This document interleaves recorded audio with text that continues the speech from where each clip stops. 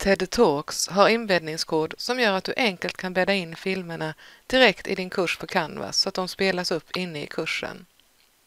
Du hittar inbäddningskoden genom att klicka på Share och sen här där det står Embed. Och sen väljer du Copy Embed Code.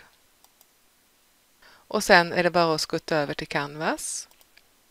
Och då går det att lägga in de här filmerna överallt där du har tillgång till den här menyn.